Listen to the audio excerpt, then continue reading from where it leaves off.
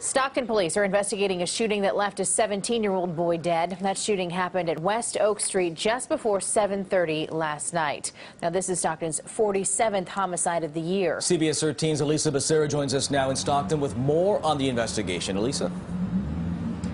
That's right. As you said, this marks 47 for the city of Stockton. Last year, they ended with 49, and each one of those numbers represents a person. Last night's person was a teenager.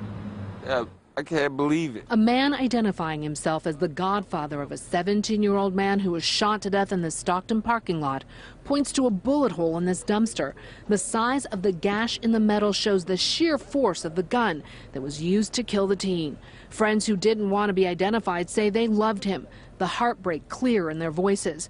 They say the teen was shot a few years ago and survived. And he got shot, and we almost lost him then. Stockton police detectives released this picture of a silver SUV they believe is tied to this case. We feel like this um, vehicle is a piece of the puzzle that can help us solve or get some more information with regards to this homicide. Detectives are also looking for four men. Video surveillance uh, also revealed that the victim was on or, or near four uh, individuals that were near the, the SUV that we're trying to locate. Friends of the victim set up a small makeshift memorial, many expressing their feelings of sadness and loss. The community here is really scarred about it. We hurt right now, you know, but it's just, just random act of violence that don't make no sense, you know. It's just.